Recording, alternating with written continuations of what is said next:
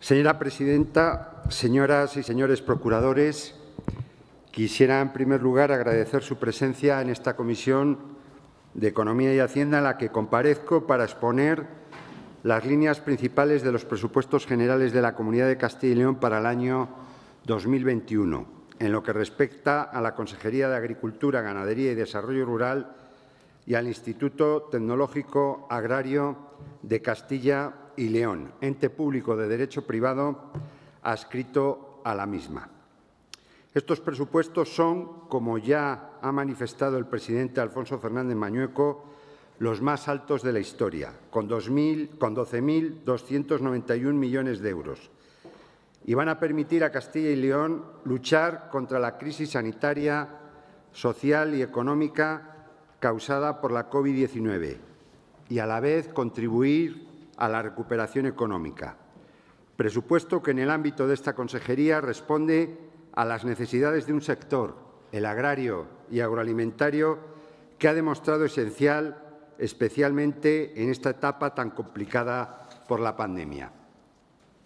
Antes de nada, quisiera que mis primeras palabras fueran de reconocimiento para todos los castellanos y leoneses que han fallecido y de apoyo a sus familias así como a los que padecen o han padecido esta enfermedad o sus consecuencias.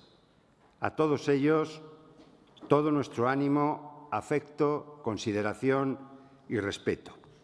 También quiero agradecer el duro trabajo que está realizando el personal sanitario y de los servicios sociales, demostrándonos una vez más que son un ejemplo de esfuerzo y dedicación al servicio de todos. Además, quiero agradecer, como ya hice en la comparecencia del pasado 7 de mayo ante estas Cortes, a toda la cadena alimentaria el no haber parado ni un solo momento, ni durante los meses más duros, en su noble tarea de garantizar el abastecimiento de la población. Gracias a su trabajo, la crisis social ha sido menor. Puedo asegurarles que la Junta de Castilla y León en general y nuestra consejería en particular Vamos a estar siempre al lado de nuestros agricultores, ganaderos, cooperativas, industrias agroalimentarias y distribución para aliviar las duras consecuencias que la COVID-19 les está causando. No les vamos a dejar solos. Este año 2020, en el que se ha declarado la pandemia, hemos tenido que arbitrar medidas extraordinarias para paliar la situación de nuestro sector y así poder seguir centrado en el suministro de alimentos, atenuando los efectos de las restricciones en el canal Oreca y la drástica reducción del consumo por el turismo.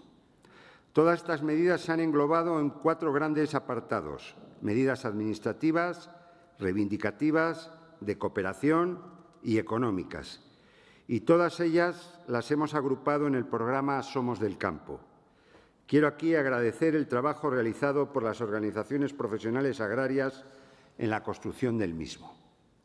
En relación con las medidas económicas, tanto la Unión Europea, el Ministerio de Agricultura y la propia Consejería hemos implantado medidas que han supuesto 57,2 millones de euros para este año, de los cuales 21,4 millones de euros han sido aportados por el presupuesto autónomo de la Consejería de Agricultura, Ganadería y Desarrollo Rural, 27,5 por los fondos europeos y 8,4 millones de euros por el Ministerio.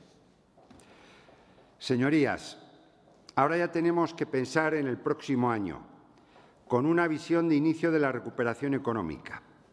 Es el primer presupuesto de esta legislatura que hemos podido presentar en estas Cortes tras las prórrogas del presupuesto 2018 a las que se han visto sometidas tanto el anterior Gobierno de la Comunidad como el actual y ello derivado de la indefinición del marco presupuestario nacional y de la incertidumbre en las previsiones de los ingresos del Estado. La tramitación parlamentaria del proyecto de presupuestos generales del Estado nos permite ahora, eso sí, con retraso, la presentación de nuestros presupuestos. Estos presupuestos van a dar respuesta a la situación actual en la que todavía nos encontramos y además nos va a permitir seguir avanzando en la modernización e innovación de nuestro medio rural, incrementando la rentabilidad de las explotaciones, luchando contra la despoblación y el envejecimiento del sector. Son unos presupuestos reales, responsables y comprometidos. Reales porque se ajustan a la hoja de ruta que marcamos ante esta Cámara en la comparecencia de presentación del programa de actuaciones de legislatura el pasado 4 de septiembre y que, como saben, recogía los compromisos del presidente Mañueco en su discurso de investidura, así como los derivados del acuerdo para el Gobierno de Castilla y León adoptado por los grupos políticos del Partido Popular y Ciudadanos. Responsables porque en ellos se refleja la digna y esencial tarea que tiene nuestro sector con la sociedad, ser garantes de la alimentación. Y comprometidos con nuestros agricultores, ganaderos e industria agroalimentaria para mejorar su calidad de vida, sabedores de que en Castilla y León estamos ante el sector más estratégico e identitario de nuestra comunidad. Como les he dicho, somos del campo. Presupuestos reales, responsables y comprometidos para este presente incierto, pero presupuesto también para el futuro del porvenir. No obstante, quiero adelantarles que no hemos podido incluir en este presupuesto los fondos Next Generation por la indefinición de los mismos en las asignaciones a las comunidades autónomas. Estos fondos esperamos y deseamos que a lo largo del próximo ejercicio y los siguientes podamos integrarlos, añadirlos y generarlos en nuestro presupuesto. Un presupuesto que tiene cinco apuestas fundamentales. Jóvenes, mujer, regadíos, industria agroalimentaria y seguros agrarios. Jóvenes porque en ellos no solo estalla el futuro, sino también el presente de nuestra agricultura. Por ello crecemos un 74,88% en formación y destinaremos 25 millones de euros a su incorporación a la actividad agraria. Aprobaremos el próximo año el Plan Agricultura y Ganadería Joven, al que destinaremos en su parte novedosa 3.750.000 euros y que, sumados a los 44.412.852 euros del resto de acciones, supone que dedicaremos a nuestros jóvenes más de 48 millones de euros. Mujeres porque son claves en el desarrollo rural, son su motor y por ello procederemos al desarrollo de la estrategia de emprendimiento de la mujer rural en los ámbitos agrarios y agroalimentarios, destinando a ello 16,7 millones de euros, de los que 3,5 millones de euros son aportados para acciones totalmente nuevas. Regadíos porque son fundamentales en la lucha contra la despoblación, donde hay regadíos, hay agricultores y además jóvenes, creándose riqueza en nuestro medio rural. Así, los vamos a impulsar con un crecimiento en modernización del 31,67%, casi 52 millones de euros, lo que supone un incremento de más de 12,4 millones de euros respecto al presupuesto anterior. Industrias agroalimentarias porque son el canal y eslabón de la cadena alimentaria a través del cual se muestran nuestras producciones de calidad perfectamente transformadas. Por ello, y para impulsar su competitividad, crecen un 32,77% las ayudas a las mismas, con más de 41,3 millones de euros, lo que supone un incremento de 10.209.743 euros. Y seguros agrarios, porque ante un mundo tan cambiante, también en lo climatológico, las certezas dan estabilidad y seguridad a nuestros agricultores y ganaderos. Así vamos a crecer un 35,9%, pasando de los 7,8 millones de euros actuales a los 5,6 millones de euros, es decir, 2,8 millones de euros más dedicados a aportar certidumbre al sector, especialmente a nuestros jóvenes.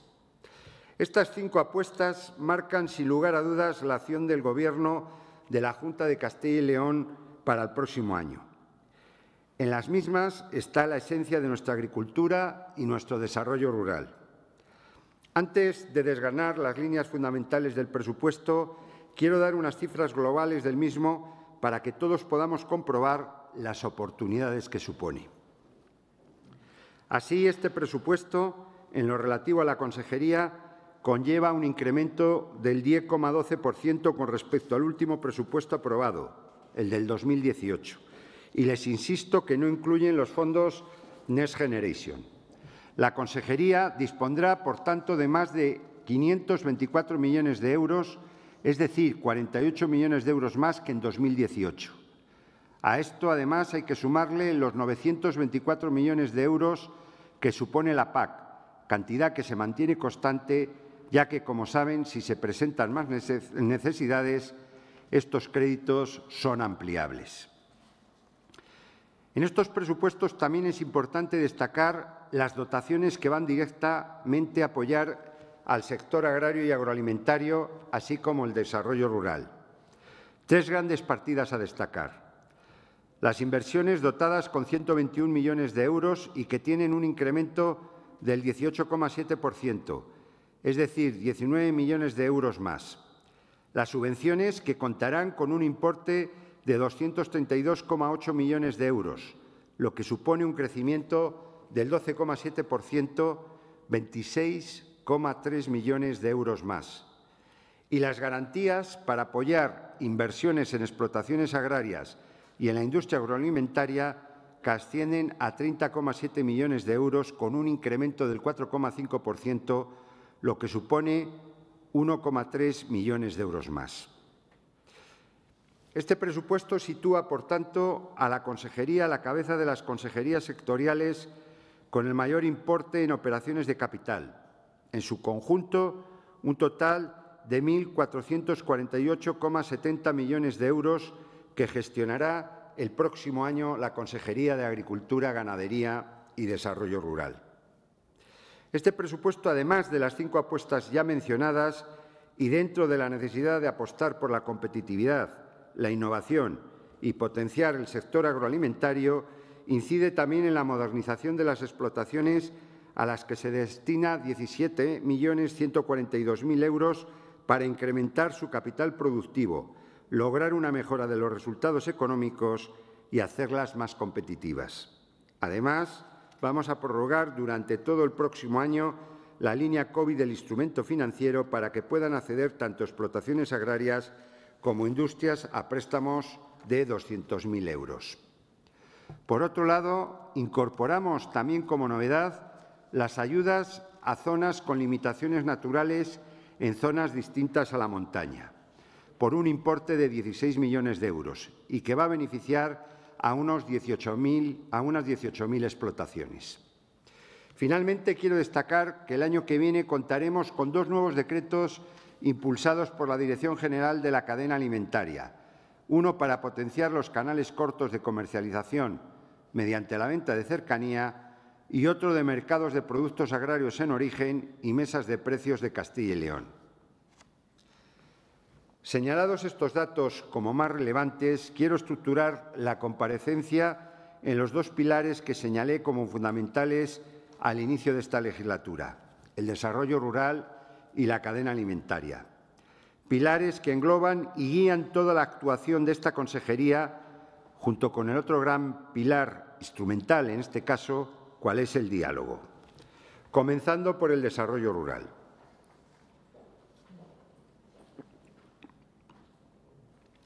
Empezamos por los jóvenes, sin duda la prioridad más esencial para este Gobierno, puesto que son el presente y el futuro del medio rural.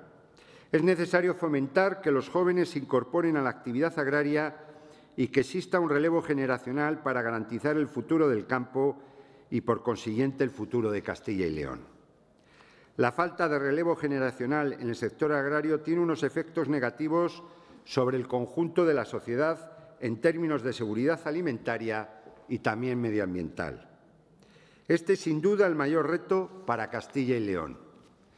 El ratio titulares de explotaciones agrarias jóvenes frente a titulares de más de 65 años es 0,34 en Castilla y León, en España 0,29 y en la Unión Europea 0,32. Esta es la realidad del sector agrario en Castilla y León, de España y de la Unión Europea. Nos encontramos que en la agricultura hay un joven por cada tres personas de más de 65 años.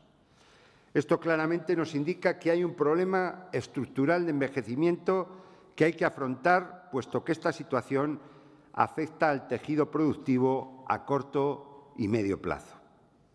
No en vano, la, la Comisión Europea está incidiendo en que el relevo generacional debe convertirse en una prioridad del nuevo marco político y por ello ha propuesto para la nueva PAC post-2020 un objetivo específico, el 7, que es el de atraer a los jóvenes al sector agrario, objetivo que se atenderá en el Plan Estratégico Nacional de España a partir de 2023, cuando este plan comience a aplicarse. Para nosotros este reto, como digo, es prioritario.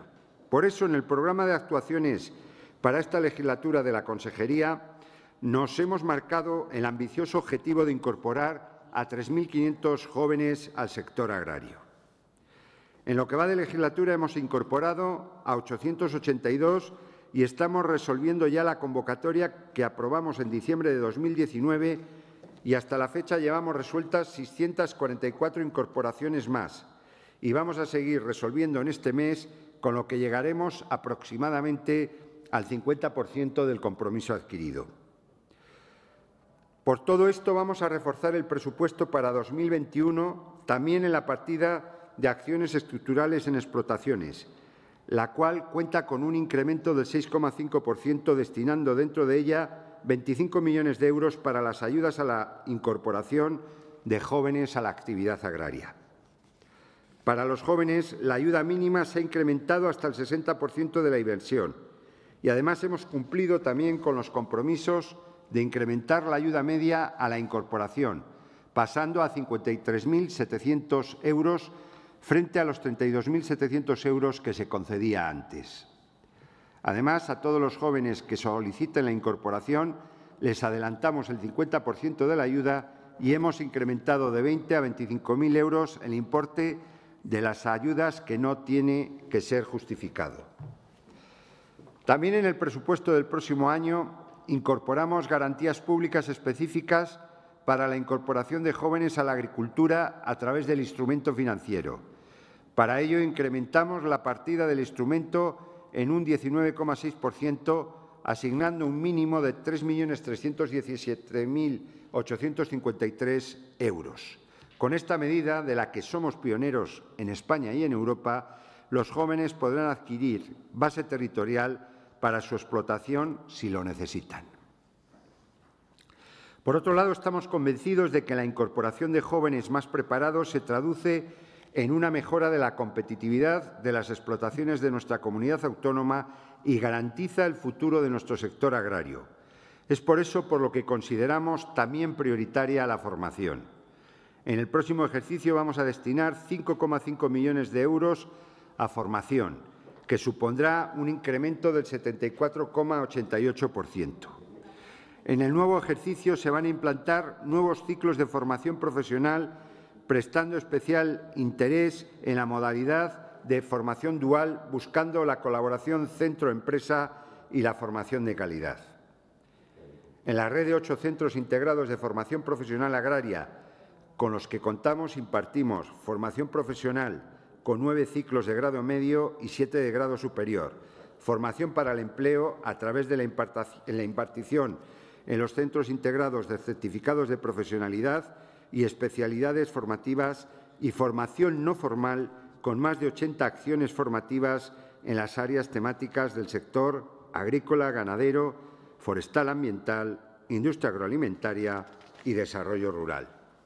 Con cargo al nuevo presupuesto se pretende orientar la oferta de temas específicos de innovación, tecnificación y digitalización, biodiversidad, economía circular, abordando la formación especializada en técnicas, aplicaciones y recursos novedosos. Por otro lado, cumpliendo los compromisos de legislatura, hemos puesto ya en manos de nuestros jóvenes la carta de servicios que ofrecemos materializada en la guía de ayudas para jóvenes que se encuentra a disposición en nuestra página web. Y en 2021 aprobaremos el Plan de Agricultura y Ganadería Joven, que estamos ultimando con el que vamos a diseñar las líneas básicas de actuación. En este plan se tendrá en cuenta, por un lado, la visión y las aportaciones de las OPAs, del sector cooperativo y, por supuesto, de los jóvenes a través del Consejo de la Juventud de Castilla y León. Cuenta también con los análisis de nuestras bases de datos y de los resultados de la encuesta realizada en la que han participado casi 1.300 personas. Para este plan se establece en el presupuesto 2021 partidas específicas por importe de 3.750.000 euros de fondos exclusivamente autónomos, que complementarán el conjunto de las acciones que estamos desarrollando en la Consejería y que ascienden, como les he dicho, a más de 48 millones de euros. Pero junto a los jóvenes, las mujeres también juegan un papel fundamental para el desarrollo económico y la vertebración del territorio. Por tanto, lograr que las mujeres no se vean obligadas a abandonar su medio es vital, como lo es la necesidad de visibilizar la labor de las mujeres como fijadoras, fijadoras de población y que su presencia se extienda a los ámbitos económicos, políticos y sociales. Debemos retener y atraer al medio rural talento, incluyendo el talento femenino. Casi la mitad de las mujeres de Castilla y León, más de 565.000, viven en municipios de menos de 20.000 habitantes. Por tanto, las mujeres son uno de los motores de los que dispone el medio rural para conseguir los cambios económicos, ambientales y sociales necesarios para el desarrollo, lo que las convierte en agentes claves contra el despoblamiento. Por otro lado, en el caso concreto del sector agrario, una de cada tres titulares de explotaciones agrarias en España son mujeres, tratándose, por lo tanto, de un sector con amplias posibilidades de futuro para las mujeres, unido a la digitalización, la biodiversidad y la economía circular. Para aprovechar este talento como revulsivo económico y social en el medio rural y para ofrecer oportunidades a ese talento femenino rural, desde la Consejería vamos a desarrollar la estrategia de emprendimiento de la mujer rural en los ámbitos agrarios y agroalimentario 2021-2023, que ha sido presentada el pasado 24 de noviembre por el presidente de la Junta de Castilla y León, con el objetivo de implicar al menos a 10.000 mujeres. La estrategia está alineada con los Objetivos de Desarrollo Sostenible, la política de igualdad de la Junta de Castilla y León y con el nuevo enfoque que tendrá la PAC.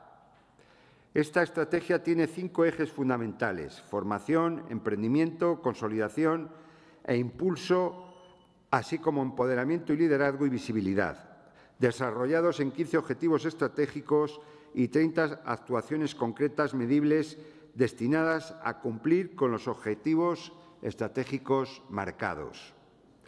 Esta estrategia dispondrá en los próximos años de un presupuesto en torno a los 50 millones de euros que se materializarán para el año 2021 en 17 millones de euros. En el presupuesto de 2021 hemos destinado partidas nuevas para la estrategia de la mujer que en su conjunto contemplan 3,5 millones de euros a las que se añaden la financiación que va destinada a las mujeres en el resto de actuaciones de la Consejería por importe de 13,5 millones de euros restantes. Como ven, en la Consejería de Agricultura, Ganadería y Desarrollo Rural tenemos claro que las mujeres y los jóvenes son esenciales para revertir la situación de despoblación que existe en nuestra comunidad. Pero además de crear medidas, ayudas y programas específicos, es preciso que se potencie la imagen del medio rural y del sector agroalimentario, haciéndola más atractiva, con oportunidades, dotándole de herramientas de vanguardia. Me estoy refiriendo a dar a conocer que se trata de un medio moderno, tecnificado, innovador, biodiverso y sostenible, un medio lleno de oportunidades y fortalezas. En el ámbito de la I D quiero agradecer el gran trabajo que el Itacil sigue desarrollando. Somos conscientes de que el sector agrario y agroalimentario afronta diversos retos de cara al futuro. Ellos nos aportan la base tecnológica para la transferencia del conocimiento y esto nos permitirá incorporar innovación a nuestro medio rural. Por ello, en 2021 iniciamos la senda para una mayor adaptación de nuestro modelo de investigación e innovación fundamentalmente al Green Deal y a la futura Estrategia de Especialización Inteligente de Castilla y León 2021-2027. En un contexto tecnológico imparable e imprescindible, es necesaria una mayor interconexión y digitalización de los eslabones de la cadena alimentaria. Es necesario, además, optimizar e incrementar nuestro potencial primario endógeno, un aspecto que ha quedado patente también en la pandemia.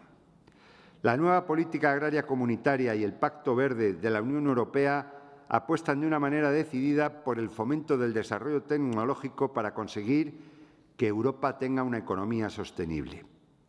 A través de la aprobación el próximo año de nuestro programa de transferencia de conocimiento y avances tecnológicos, también mejoraremos nuestra colaboración y servicios al sector con novedosas herramientas y nuevos canales de comunicación a través de las nuevas tecnologías Living Labs, intensificando la presencia en redes sociales y potenciando grupos de conocimiento.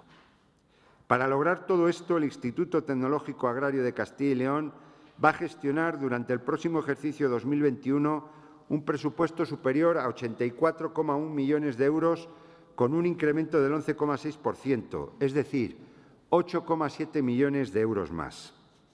Destaca el esfuerzo inversor en I de Masía agroalimentaria de 10.133.399 euros, casi un millón de euros más respecto al último presupuesto aprobado.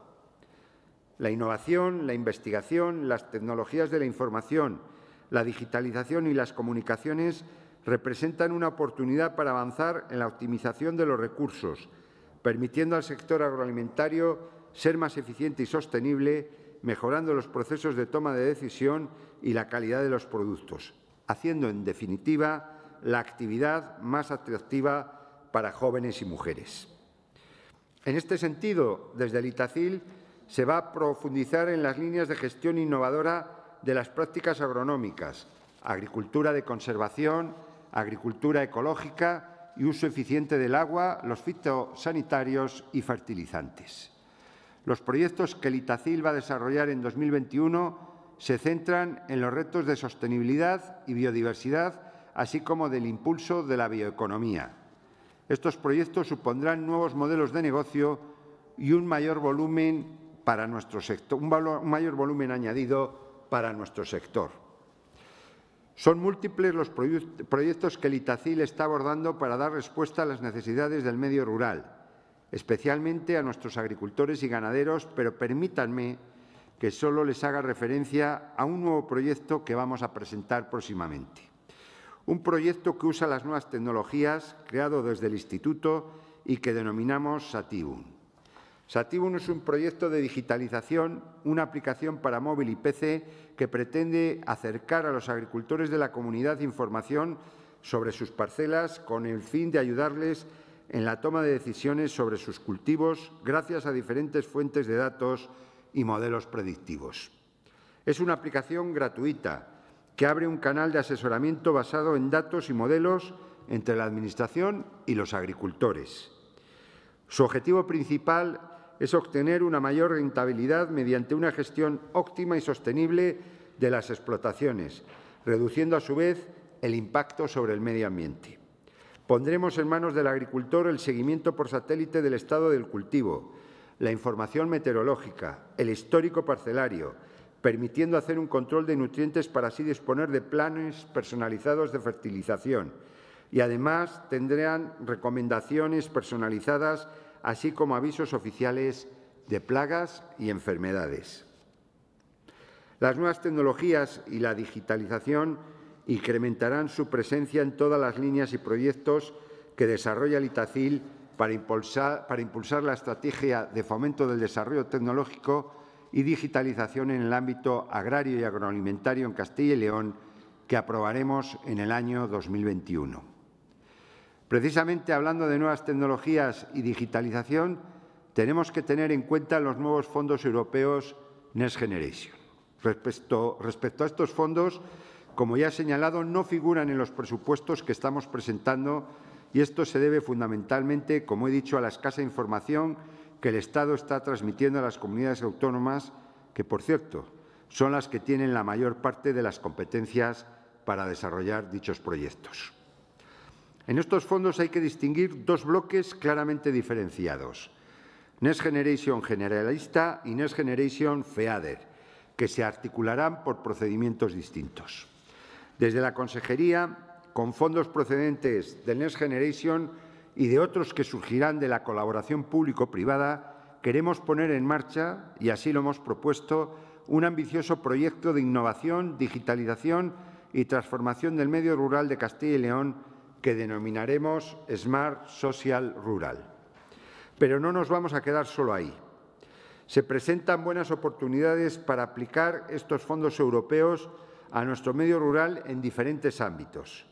Como saben, la Junta de Castilla y León creó en septiembre de este año la Oficina de Coordinación de Fondos de la Unión Europea, en la que participa la Consejería a través del Secretario General y de nuestro director de la PAC. Quiero informarles que, a falta de la definitiva decisión por las instancias europeas competentes y las decisiones del Gobierno de España para articular la financiación de los fondos europeos en las comunidades autónomas, esta consejería, anticipándose para estar preparados, ha recabado proyectos por importe de unos 1.500 millones de euros, de los cuales 572 millones corresponden a iniciativas públicas y el resto a iniciativas privadas en las que han colaborado todos los eslabones de la cadena alimentaria. Nuestros proyectos públicos responden a cuatro prioridades esenciales. Digitalización e innovación, transición ecológica y biodiversidad, cohesión económica, social y ambiental, desarrollo rural y, por último, One Health. Respecto a los fondos Next Generation, hemos de señalar dos reivindicaciones importantes desde nuestro punto de vista. La primera, que el sector agrario y agroalimentario pueda acceder a la financiación de los, fondos globales, es decir, de los fondos genéricos del Next Generation en el marco del Plan de Recuperación, Transformación y Resiliencia que presentará el Estado a la Comisión Europea. La segunda, la escasa financiación de estos fondos globales que ha sido destinada para ser gestionada por el Ministerio de Agricultura y también la escasa financiación para el desarrollo rural a través del FEADER, fondos que deben utilizarse para contribuir en la lucha contra la despoblación de las amplias zonas europeas afectadas por este importante problema. De estos fondos FEADER, tan solo un 1%, asignándose a España 718 millones de euros, que supondrá para Castilla y León una dotación de 83,8 millones de euros para cinco años. En todo caso, a partir del año que viene es de esperar que el Ministerio de Agricultura incorpore a sus presupuestos esta financiación FEADER y nos permita generarlos en nuestro próximo presupuesto y en próximos ejercicios. Y en este apartado de nuevas oportunidades para el medio rural, tampoco podemos olvidarnos del trabajo que están desarrollando los grupos de acción local aplicando la metodología LEADER. Ellos contarán con un presupuesto que crece un 22%, llegando a un total de 25.509.687 euros. Esto supone 4,6 millones de euros más. Como saben, este presupuesto se destinará a la financiación de proyectos de inversión generadores de empleo, de cooperación entre territorios y a gasto de funcionamiento de los propios grupos. Castilla y León es una de las comunidades autónomas más adelantada en la ejecución de la medida líder, con un ratio de presupuesto comprometido superior al 80% y a nivel de pago del 53%. A fecha de hoy y desde el inicio de esta legislatura, 878 solicitudes de ayuda líder tienen suscrito el correspondiente contrato con los grupos de acción local por importe de 29.982.420 euros para una inversión inducida de 106.723.850 euros. Líder ha permitido el mantenimiento y la creación de empleo en el medio rural. Solo les doy un dato. Desde julio de 2019, sus proyectos suponen 569 empleos de nueva creación y 3.469 mantenidos. Por otro lado, otro de los ejes fundamentales dentro del desarrollo rural son las infraestructuras agrarias. Los compromisos de esta legislatura en esta materia se dirigen en dos direcciones. Por una parte, los regadíos y, por otra, la ordenación de la propiedad con las infraestructuras ligadas a ellas. Y en estos compromisos anuncié un impulso en las actuaciones en regadío, incorporando 30.000 hectáreas en el marco de un programa de impulso de infraestructuras agrarias de regadío presentado el pasado mes de febrero en Sagún, León, y el fomento de energías alternativas con un programa de eficiencia energética en regadío, programa también presentado recientemente en Coreses, Zamora. Además, nuestro compromiso también abarca el avance en las infraestructuras agrarias en zona de concentración parcelaria, incorporándolas a 150.000 hectáreas. Cumplidos los compromisos de planificación con los dos programas indicados, para desarrollarlos contaremos en el presupuesto del próximo año en el subprograma de reforma agraria para infraestructuras agrarias con 84.269.610 euros, es decir, 14,3 millones de euros más que el último ejercicio esto supone un incremento del 20,4%. Empezando con los regadíos, como saben, allí donde se apuesta por el regadío, como les he dicho, hay más riqueza económica, más densidad de población, así como una mayor afluencia de jóvenes. El regadío es clave para la mejora de la competitividad de las explotaciones, genera beneficios socioeconómicos y medioambientales y contribuye a la lucha contra el cambio climático. Estos son argumentos suficientes para que en el presupuesto hayamos incrementado la partida, especialmente las modernizaciones, en más de un 31%, un total de prácticamente 52 millones de euros, es decir, 12,5 millones de euros más.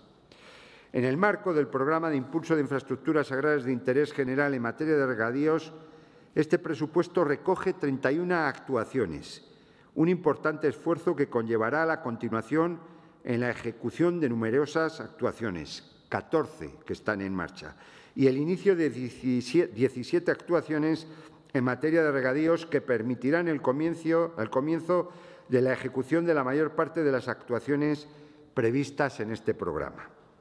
Precisamente el viernes 4 de diciembre, hace 10 días, acompañaba al ministro Planas a visitar los regadíos de la zona de Payuelos en León donde la Junta de Castilla y León está cumpliendo y anticipando todos sus compromisos y le animaba, dentro de la más absoluta lealtad institucional, a que el Gobierno de España cumpliera, acelerara e impulsara sus actuaciones en esta zona tan importante para León y para nuestra comunidad autónoma y que hiciera, por supuesto, desde su ministerio una apuesta decidida por los regadíos de nuestra comunidad, instando a la agilización de las tramitaciones correspondientes ante la Confederación Hidrográfica del Duero por parte del Ministerio de Transición Ecológica y Reto Demográfico.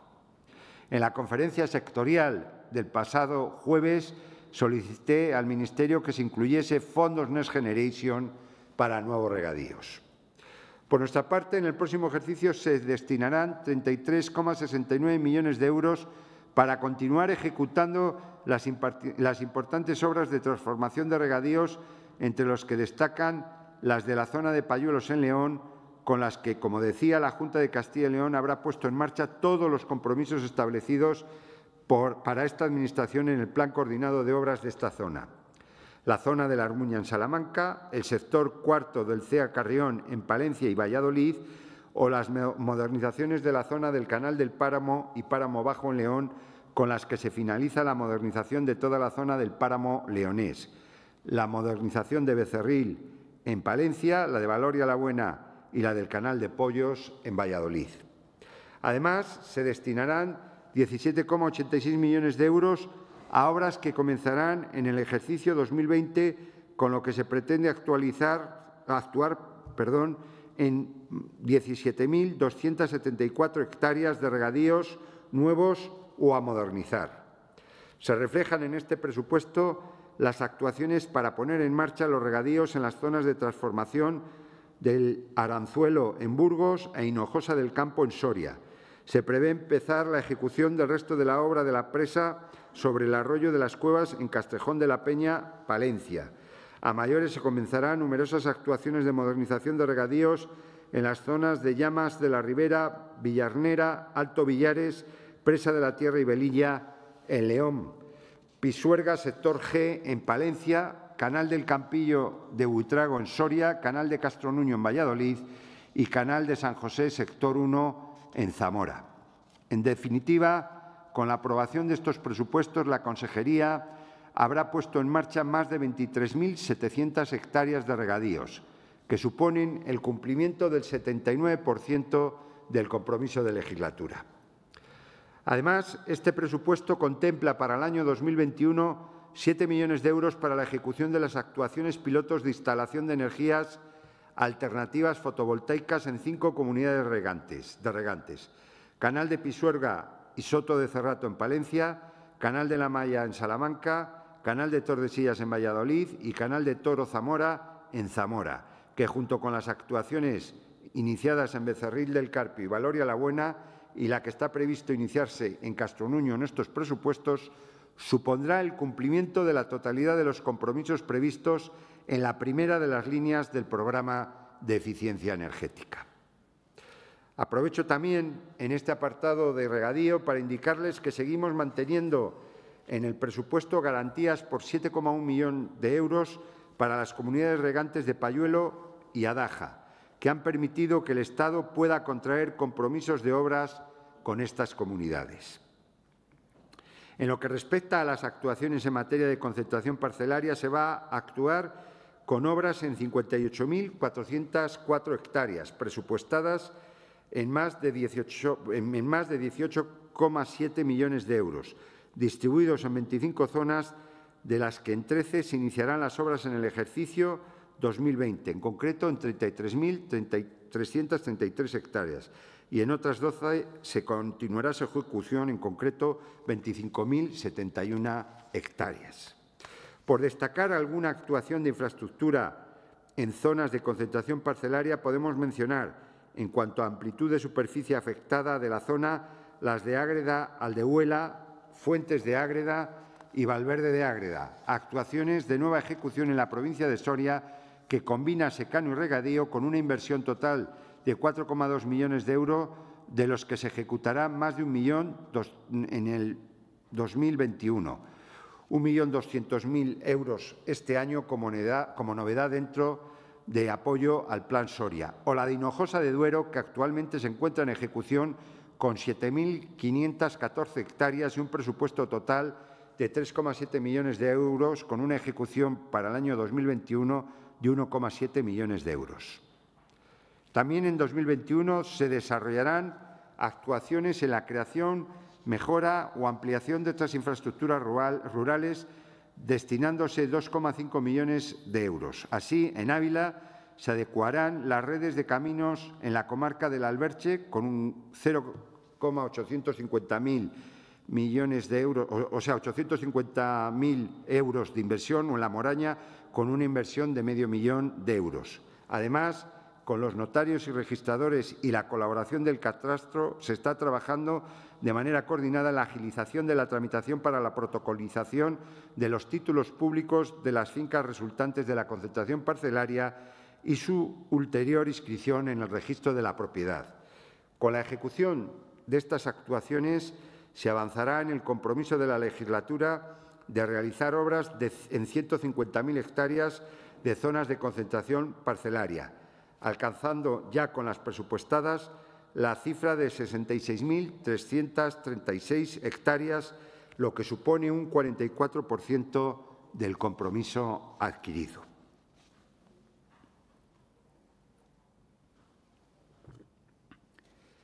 Las acciones estructurales para las inversiones en explotaciones agrarias forman parte también de nuestro compromiso para esta legislatura, en concreto para modernizar 4.700 explotaciones. En este sentido, la partida presupuestaria de acciones estructurales en explotaciones, como indicado, cuenta para el próximo año con una dotación de 42.241.736 euros, destinándose 17,2 millones de euros para inversiones en explotaciones agrarias y así incrementar los activos físicos de nuestras unidades productivas. Llevamos prácticamente un año y medio de legislatura y ya hemos modernizado 966 explotaciones que suponen el 21% del compromiso y veremos próximamente duplicado el número ya en el escenario del próximo año. Compartirán conmigo, señorías, que favoreciendo las inversiones en explotaciones facilitamos su competitividad, estando más preparadas para afrontar los retos a los que se enfrentan. Por eso hemos incorporado inmediatamente el compromiso de incrementar la intensidad individual de estas ayudas, demanda que me trasladaron las organizaciones profesionales agrarias en los primeros contactos que tuve con ellas. En este sentido, la primera convocatoria que pusimos en marcha hace ya un año, el 16 de diciembre de 2019, contempló un incremento del importe mínimo de ayuda para alcanzar el 40% de la inversión como criterio general, importe que se incrementó también al 60% en el caso de los jóvenes agricultores. Aprovecho también para indicarles que este mismo mes aprobaremos una nueva convocatoria de ayudas a inversiones en explotaciones, que se ajustará presupuestariamente el año que viene a las necesidades de las solicitudes que se presenten. Y en el marco de favorecer las inversiones para aumentar la productividad y la competitividad, hemos incrementado también la dotación específica para garantías en préstamos a través del instrumento financiero para inversiones en explotaciones con el objetivo de facilitar aún más las inversiones en los proyectos con ayudas y sin ayudas de modernización. Como podrán comprobar en la partida presupuestaria Fianzas a largo plazo, contaremos con una dotación de 7.999.834 euros esta dotación se incrementa, por tanto, en un 19,6%. Con este instrumento financiero de la Consejería, en apenas dos años hemos apoyado 298 proyectos de inversiones en explotaciones agrarias por valor de 61,8 millones de euros. En este apartado quiero indicarles la necesidad de incorporar asesoramiento a las explotaciones. En este sentido, el año que viene contaremos también con 2,5 millones de euros para estas actuaciones. Y pensando en las pequeñas explotaciones ganaderas que aún se mantienen en casco urbano de municipios muy pequeños, por falta de terreno para trasladarse a otras zonas, hemos propuesto en la Ley de Medidas prorrogar el régimen previsto en la Ley 5 2005 hasta el 31 de diciembre del año 36 para facilitar el medio de vida de estos ganaderos en estos pequeños municipios. Nuestra política de apoyo a prácticas agrarias compatibles con el medio ambiente y a zonas con limitaciones naturales va a continuar durante el año 2021. Para ello vamos a dedicar en los presupuestos 73,1 millones de euros con un incremento del 1,5% respecto al ejercicio anterior. Actualmente tenemos nueve líneas de apoyo a estas prácticas agroambientales que afectan a más de 11.000 productores. A ellos destinaremos 38,7 millones de euros que se aplicarán a concluir los pagos y compromisos vigentes y, en su caso, prorrogados de las, de las nueve actuaciones agroambientales incluidas en el Programa de Desarrollo Rural de Castilla y León 2014-2020. Asimismo, recientemente hemos publicado una nueva convocatoria para nuevos compromisos a estas medidas en 2021. Esta nueva convocatoria está dotada con 16,5 millones de euros para todo el periodo de compromiso trienal y su importe para hacer frente a la primera anualidad se incorpora al presupuesto que hoy estamos presentando. También vamos a seguir protegiendo la agricultura de montaña y otras zonas con dificultades específicas, Aproximadamente son 23.000 explotaciones y vamos a dedicar 34,4 millones de euros. Como he señalado anteriormente, como novedad en 2021 convocaremos las ayudas dirigidas a explotaciones con limitaciones naturales distintas a las de montaña, que no hemos puesto en marcha en este periodo de planificación actual. Estas ayudas irán destinadas a unas 18.000 explotaciones y destinaremos 16 millones de euros. La situación de la pandemia COVID, que ha afectado también a muchos sectores desde el punto de vista de la comercialización, nos ha llevado a incorporar esta línea el año 2021. Quiero referirme ahora a la sanidad animal. La pandemia del COVID-19 ha puesto de manifiesto la gran importancia del concepto One Health y la necesidad de considerar la sanidad animal como un aspecto prioritario para evitar zoonosis, garantizar la seguridad alimentaria y salvaguardar la salud de personas y animales. La mejora sanitaria que han experimentado las explotaciones ganaderas de Castilla y León se ha conseguido gracias al esfuerzo conjunto entre el sector y la Administración durante los últimos, últimos años. Estos resultados tan favorables están suponiendo un impulso y unas garantías sanitarias para la cabaña ganadera de Castilla y León, situándola en unos niveles muy alejados de las comunidades autónomas competidoras y poniendo de manifiesto el gran trabajo y la seriedad en sanidad animal de todos los agentes implicados, empezando por nuestros ganaderos. Baste algunos ejemplos, como en brucelosis ovina, en la que Castilla y León ha sido declarada por la Unión Europea como región oficialmente libre, o en brucelosis bovina, en la que ya son cinco las provincias de la comunidad que han alcanzado el máximo estatus sanitario, Burgos, Soria, Valladolid, Zamora y León. Y se da por erradicada oficialmente la enfermedad y próximamente tendremos el resto de provincias en las mismas condiciones. O en el caso de la tuberculosis bovina, en la que seis provincias, Burgos, León, Palencia, Segovia, Valladolid y Zamora, mantienen prevalencias por debajo del 1%. En esta legislatura hemos constituido un grupo de trabajo técnico de tuberculosis bovina en el que ha participado el sector regional representado por la SOPA, Surcacil y asociaciones ganaderas bajo la coordinación técnica de la Consejería que ha trabajado intensamente para dar respuesta a las peticiones de los ganaderos. En el caso de la peste porcina africana, estamos colaborando, además de con el Ministerio de Agricultura, Pesca y Alimentación, con la Consejería de Fomento y Medio Ambiente, para llevar a cabo en Castilla y León la Estrategia Regional de Control de Poblaciones de Jabalíes, pues ya saben ustedes que son el principal peligro que ahora mismo existe en nuestro territorio como propagadores de la enfermedad. Además, no me quiero olvidar del importantísimo papel que el Laboratorio Regional de Sanidad Animal de Villaquilambre, en León, está teniendo desde el pasado mes de abril en el diagnóstico de la COVID-19 con la realización de PCRs, en colaboración estrecha con el Hospital de León y el Área de Salud del Bierzo. Desde su incorporación, el 20 de abril, como laboratorio autorizado, lleva realizadas más de 25.000 PCRs. Tampoco nos podemos olvidar del apoyo de los laboratorios del Itacil, donde se han realizado más de 35.500 hisopos y se ha colaborado con el Laboratorio Lucía en la realización de más de 13.000 PCRs, además de asesorar y dar servicio en diversas materias sobre la detección del virus. Quiero destacar aquí el anuncio de la bonificación de la tasa por servicios veterinarios incorporándose a la ley de medidas. Por, otro lado, quiero anunciar una novedad en cuanto a la tenencia responsable de los animales de compañía, las mascotas. La tenencia de mascotas juega un papel muy importante en nuestra sociedad actual, ya que estos animales conviven junto a nosotros, compartiendo tanto nuestros hogares como parte de los espacios públicos de nuestras ciudades y medio rural. Por ello, lanzaremos el próximo año una campaña dirigida a toda la sociedad para reforzar el mensaje de atención y cuidado de las mascotas en una doble vertiente. En primer lugar, no queremos que se produzca ningún suceso que afecte al bienestar animal de nuestros compañeros. Pretendemos que la tasa de abandono sea tasa cero y, por otro lado, buscamos concienciar a la ciudadanía de que la salud de nuestras mascotas repercute en nuestra salud y es fundamental mantenerlas sanas, por ellas y por nosotros.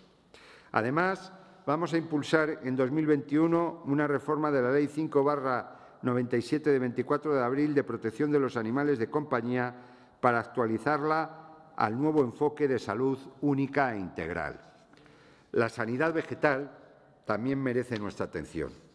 Así, seguiremos trabajando con la premisa de la prevención para evitar o, en su caso, minimizar los efectos que las distintas plagas pueden ocasionar en los cultivos agrícolas mediante la detección y el control de los organismos vectores que provocan la enfermedad y la vigilancia de las parcelas que pueden ser objeto del ataque de estos patógenos. Todo ello encaminado a minimizar pérdidas de producción en las explotaciones y poner en el mercado alimentos con un alto nivel de seguridad alimentaria. Para ello contamos con tres laboratorios adscritos a la Consejería, que realizan analíticas encaminadas a la detección de plagas y enfermedades de las producciones agrícolas y, por ende, control de la seguridad alimentaria. En estos laboratorios se realizan 25.000 análisis anuales.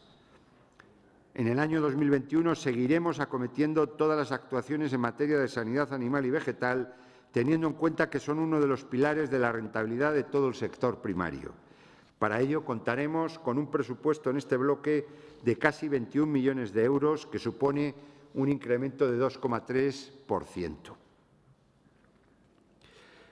Una vez analizado los aspectos relativos al desarrollo rural, procedo a abordar el segundo pilar de la consejería, que recoge todo lo relacionado con la cadena alimentaria y la interrelación de los agentes intervinientes.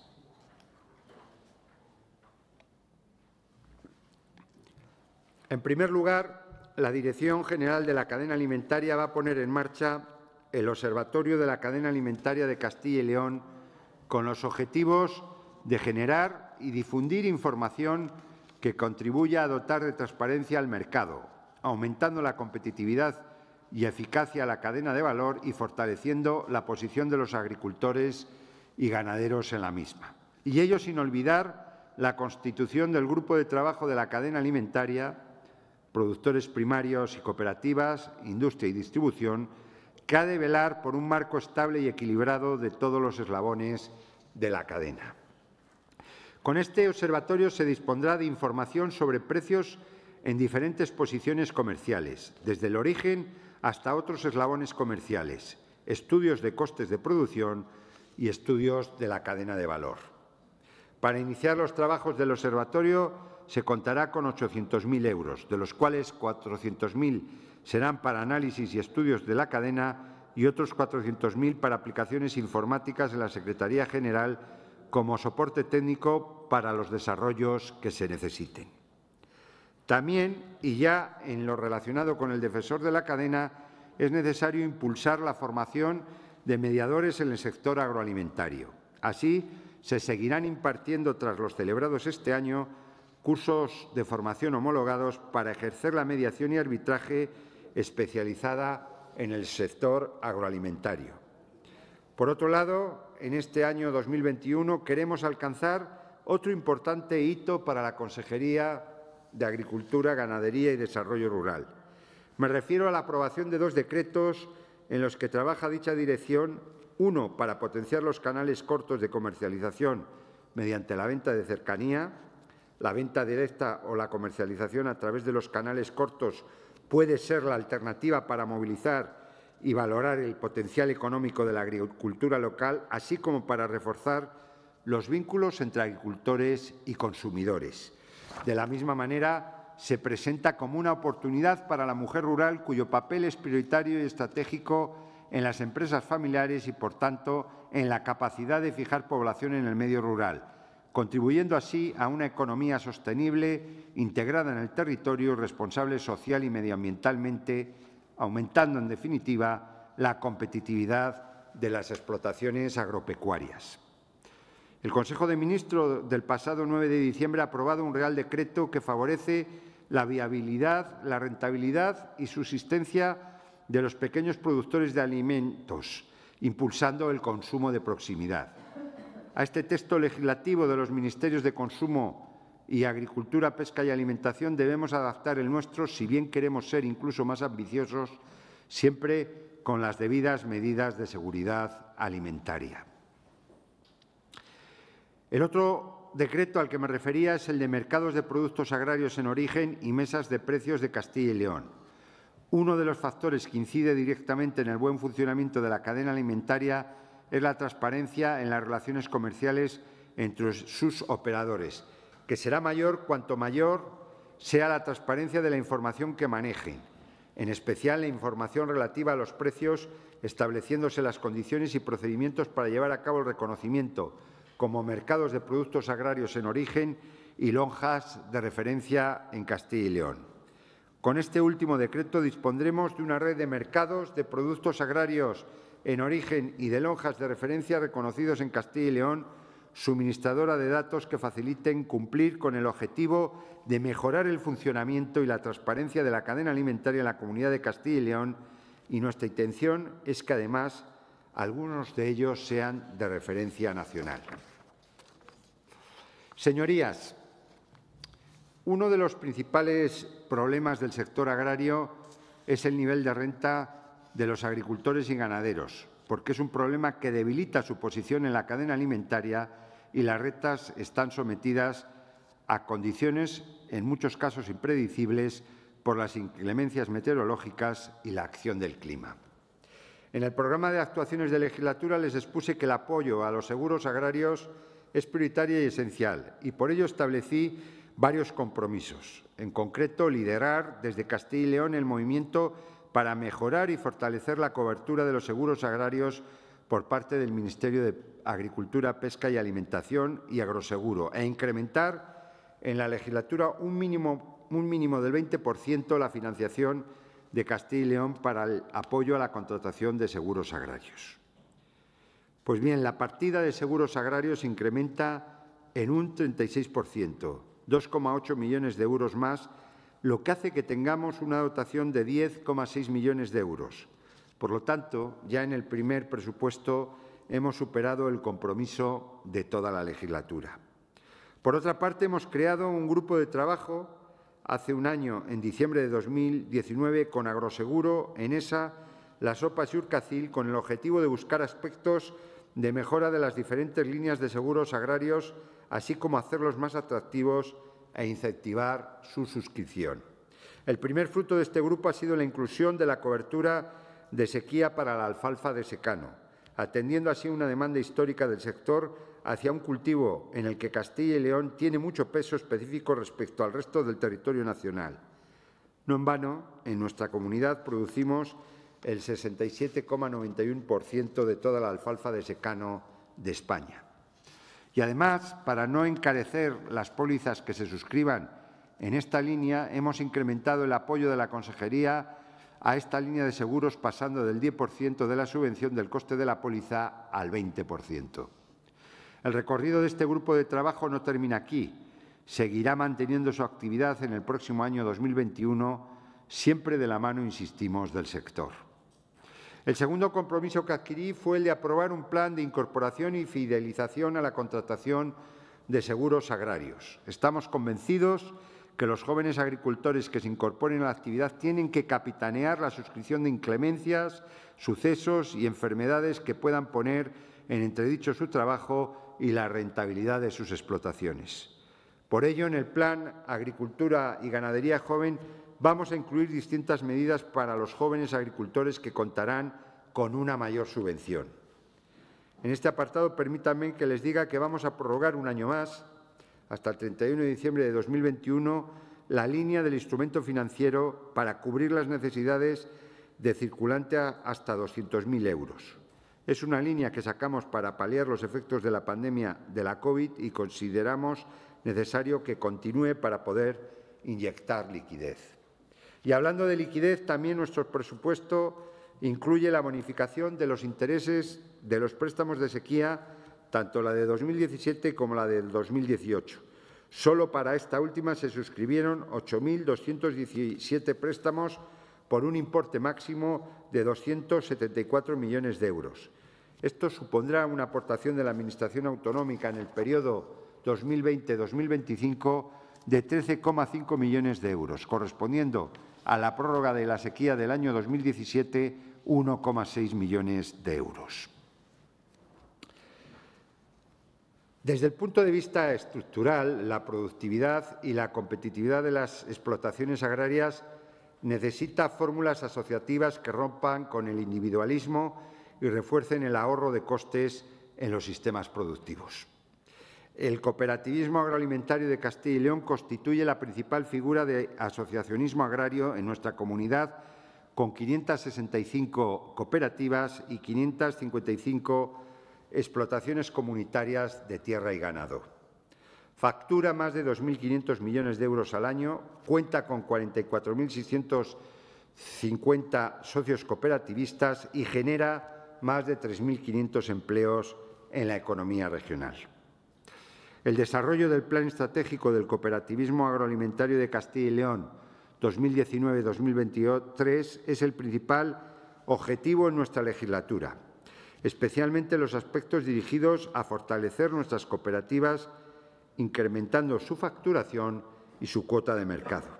Quiero agradecer aquí el fundamental papel que desarrolla Urcacil promoviendo y fomentando el cooperativismo, es decir, la agricultura moderna y de futuro que Castilla y León merece. Y también quiero aprovechar para reconocer el esfuerzo de recuperación de la cooperativa Covadú tras el lamentable incendio de septiembre de este año que calcinó diferentes naves de almacenamiento y que, por si esto fuera poco, ha sufrido en días pasados un ataque informático del cual ya se está incorporando. Debemos ponerla como ejemplo de tesón para mantenerse en la primera línea productiva de nuestra comunidad. Diferentes líneas están dirigidas al movimiento asociativo y cooperativo en los presupuestos de 2021. En total, destinaremos 3.431.150 euros, que supone un incremento del 23%. La línea de ayuda para la mejora del dimensionamiento de cooperativas está dotada con 430.000 euros y va dirigida a fusiones y acuerdos intercooperativos para conseguir una mayor concentración de la oferta. En un ámbito paralelo tenemos una línea complementaria a la de la creación de organizaciones de productores que cuenta con 757.150 euros. Contaremos también con una partida para apoyar inversiones en transformación de productos agrarios en cooperativas dotadas con 1.473.000 euros, con un incremento del 73,3%. Línea que además cuenta con el apoyo del instrumento financiero para complementar el apoyo público a estas inversiones. Por otra parte, seguiremos apoyando a las asociaciones ganaderas que contarán en su conjunto con 551.000 euros y mantendremos el apoyo directo al cooperativismo y a sus socios con las figuras de entidades asociativas prioritarias y socios prioritarios. Me referiré ahora a un instrumento fundamental para complementar las rentas de nuestros, de nuestros agricultores y ganaderos y un eje fundamental en la política agraria, como es la PAC. Como bien saben, en esta consejería no hemos dejado ni dejaremos de dar la batalla reclamándole al Ministerio la defensa de una PAC fuerte que no recorte los derechos de los agricultores y ganaderos de Castilla y León. Estas ayudas mantienen el mismo importe que en el ejercicio 2018, es decir, 924.421.069 euros que constituye el 7,52 perdón, por ciento del presupuesto total de la Junta de Castilla y León y casi el 30% del presupuesto destinado a transferencias corrientes. Como conocen, el año 2021 será el primero de los dos años de transición de la PAC 14-20, antes de la entrada en vigor de la nueva prevista para el 1 de enero del año 2023. En consecuencia, seguiremos aplicando el actual modelo de pagos directos. Ahora estamos en un momento clave de determinación del qué será el próximo marco regulatorio de la PAC, el Plan Estratégico para el periodo 23-27. Y desde Castilla y León estamos activamente trabajando en el mismo e incluyendo medidas para facilitar que jóvenes y mujeres ocupen el papel que les corresponde en nuestro sector agrario y medio rural y lo hacemos con unas bases sólidas que derivan de la posición común suscrita por el Gobierno regional con las organizaciones profesionales agrarias representativas de Castilla y León, la Unión Regional de Cooperativas y todos los grupos políticos de estas Cortes.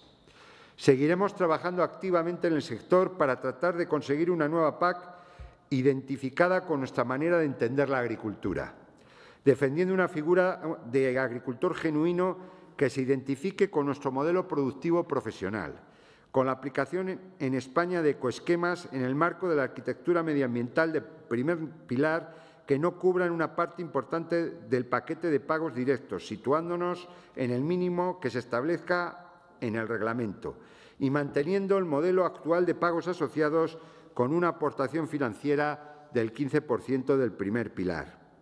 Estas ayudas son importantes para los sectores ganaderos de vacas nodrizas y vacuno de, cebo, vacuno de leche, ovino y caprino, y en lo referente a los cultivos, sin duda la remolacha, tan castigada, como saben, con la subida del IVA y campañas que la demonizan, y el apoyo a los cultivos proteicos. También consideramos importante el establecimiento de programas nacionales para determinados sectores, caso del ovino y caprino, en el que tendrán un papel relevante las cooperativas y las asociaciones de productores. Como señalaba, la política agraria común contará con 924,4 millones de euros para el año 2021. En el concepto presupuestario principal se, perdón, se incluye el pago básico, el pago verde, que aproximadamente representa un 52% del pago básico, y el pago directo a los jóvenes agricultores del que se podrán beneficiar más de 3.000 jóvenes. El conjunto de estos pagos supone un importe de 780,4 millones de euros y se distribuirá entre unos 65.000 agricultores y ganaderos. Respecto a las ayudas asociadas, se destinan 132 millones de euros dirigidos dirigidas perdón, a unos 40.000 agricultores y ganaderos. En este apartado se encuentran las del vacuno de carne, 61 millones de euros, vacuno de leche, 10 millones de euros y también al sector del ovino y el caprino con 31,5 millones de euros. Cultivos proteicos, 18 millones de euros y remolacha, 12 millones de euros. Por otra parte, tenemos también el régimen de pequeños agricultores con 6 millones de euros y un bloque de otras ayudas de 6 millones de euros donde se encuentra el sector vitivinícola, la leche escolar y el consumo de frutas en colegios. Con estos pagos vamos a seguir con los compromisos de simplificar su gestión. Para eso implantaremos herramientas digitales que harán más fácil la tramitación tanto para los agricultores y ganaderos como para la propia Administración. El objetivo es que estos fondos estén lo más rápidamente posibles en manos de los beneficiarios, ya que suponen una compensación de las rentas en torno al 30%, importe que, como saben, no remunera el mercado. Este año, tal y como nos comprometimos, fuimos de las primeras comunidades autónomas en pagar los anticipos del 70% y hemos abonado ya 605 millones de euros, el mismo nivel del año pasado. Nos marcamos el mismo objetivo para el año que viene, respetando indudablemente el porcentaje de ayuda que se autorice por la Comisión Europea. Dentro de la cadena alimentaria son fundamentales las industrias agroalimentarias. Ellas son las encargadas de transformar las materias primas y convertirlas en los alimentos que consumimos. Nuestras industrias han asumido un papel complicado durante la pandemia del COVID y muchas se han esforzado por mantener los puestos de trabajo e incluso ampliarlos. Por ello se incrementa en casi un 33% la partida destinada aumentar la productividad y competitividad de las industrias agroalimentarias, lo que supone 10 millones de euros más, alcanzando un total de 41.365.110 euros. De este importe, 39.442.252 euros se destinan para ayudas directas a la inversión productiva que impulsarán una inversión inducida de unos 140 millones de euros. Y 1.922.858 euros se destina a proyectos de investigación para el desarrollo de nuevos productos, eh, prácticas y tecnologías que aborden en cooperación las distintas empresas del sector. El apoyo a la industria agroalimentaria se completa con el presupuesto dedicado a garantizar préstamos a la inversión y circulante a través del instrumento financiero, para lo cual se cuenta con una dotación presupuestaria de 15,4 millones de euros, manteniendo la cuantía del año 2018. Para las industrias también prorrogaremos hasta el 31 de diciembre de 2021 el instrumento financiero exclusivo para circulante por importe de 200.000 euros. Asimismo, les indico que, y previamente consensuado con las OPAs, Vitartis y las industrias agroalimentarias, aprobaremos el próximo año el Plan Autonómico de Agroindustria, tomando como ejes la cadena alimentaria, la competitividad, la innovación, la transferencia tecnológica, la colaboración, la digitalización e Industria 4.0, la alimentación saludable, la eficiencia, la economía circular, la sostenibilidad, la formación y el empleo, la comercialización y la internacionalización y la calidad y la promoción. También a lo largo de 2021 queremos seguir impulsando la marca de calidad Tierra de Sabor. De este modo, el presupuesto destinado a la promoción de la marca se incrementa en un 28,6%, lo que hace un total de 5.250.000 euros, 1,2 millones de euros más. Igualmente vamos a reforzar la partida destinada al apoyo de figuras de las denominaciones de origen y asociaciones de calidad que contarán con 1,2 millones de euros, lo que supone un incremento del 3%. La calidad alimentaria y la diferenciación de la producción son las señas de identidad del sector agroalimentario de Castilla y León. Además, facilitan la generación de valor añadido en el medio rural y contribuyen a la fijación de la población en este medio. en este presupuesto y dentro de la estrategia de impulso de la calidad diferenciada, se contemplan medidas para que las marcas de garantía con madurez obtengan el registro comunitario como indicaciones geográficas protegidas o denominaciones de origen protegidas y de esta forma cuenten con el máximo reconocimiento a nivel internacional.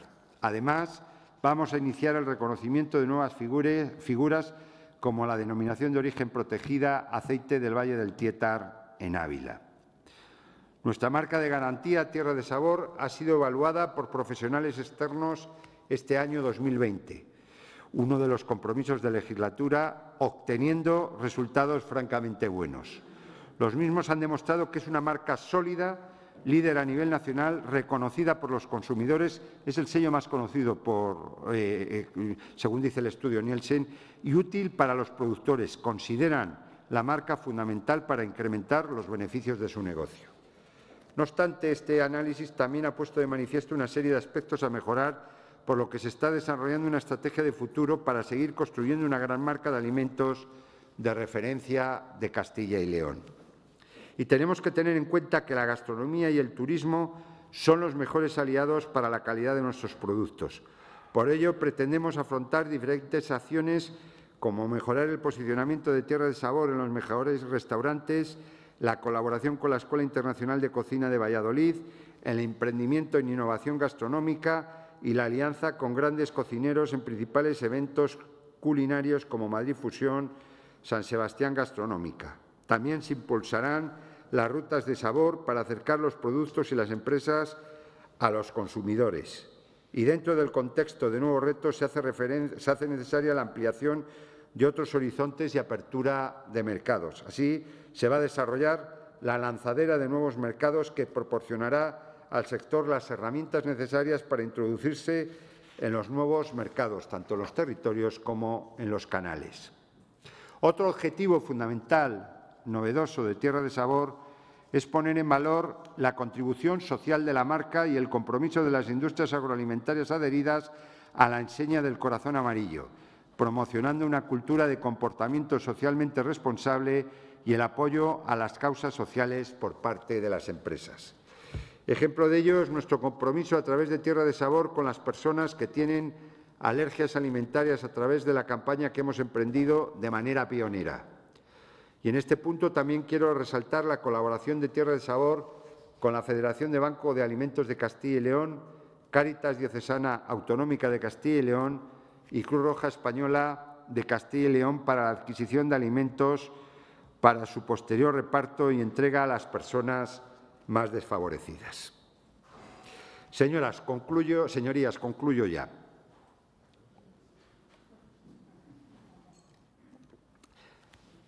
Les he presentado el presupuesto elaborado por el equipo directivo de la Consejería de Agricultura, Ganadería y Desarrollo Rural, al cual quiero agradecer su trabajo e implicación. Trabajo e implicación que quiero también agradecer a todo el personal de la Consejería, porque sin ellos nada sería posible. Estamos ante el presupuesto de un sector que algunos sabíamos vital, pero que hoy todos ya reconocemos como imprescindible. Un presupuesto que, partiendo del desarrollo rural de nuestra comunidad, quiere hacer de la cadena alimentaria el eje del mismo. Un presupuesto que se ejecutará durante el marco de negociación de las bases de la nueva PAC a través del Plan Estratégico Nacional y en el marco de llegada y aplicación de los fondos Next Generation y en el que jugará un papel fundamental la transparencia en los mercados en origen y mesas de precios y los canales de corto, de comercialización mediante la venta de cercanía. Por ello, este presupuesto incide desde su realidad, responsabilidad y compromiso en nuestros esperanzadores jóvenes, en nuestras valientes mujeres, en nuestros modernos regadíos, también en las modernas prácticas agroambientales y en la protección mediante ayudas a zonas con limitaciones naturales, en nuestras industrias agroalimentarias de vanguardias, en nuestra potente innovación a través del Itacil y en nuestros ciertos seguros agrarios. Todo ello para hacer de la agricultura, la ganadería y la industria agroalimentaria un lugar sostenible donde todos podamos mirarnos y sentir con orgullo el ser nietos de nuestros abuelos, el ser castellanos y leoneses. Me gustaría que esta ley de presupuestos saliera adelante con el mayor consenso posible, porque precisamente en los momentos complicados como el que vivimos es cuando más unidos debemos estar para abordar las dificultades. Por ello, mi equipo y yo estamos a su disposición para juntos, mediante el diálogo, seguir avanzando en las mejores actuaciones posibles para nuestro medio rural. Como dijo León Felipe, porque no es lo que importa llegar solo ni pronto, sino llegar todos y a tiempo. Muchas gracias, señorías.